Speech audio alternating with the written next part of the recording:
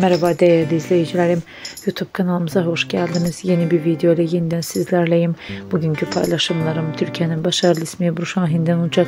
Ebru Şahin sosyal medya gündeminde paylaşım yaptı. Paylaşımda Türkiye için üzüldüğünü, depremden zarar görmüş soydaşları için çok üzüldüğünü söylemiş.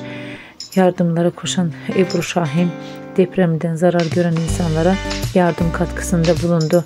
Herkese yardıma sesleyen Ebru Şahin'in en güzel görüntülerini sizlere sunuyorum. Şimdilik benden bu kadar. Hoşçakalın arkadaşlar.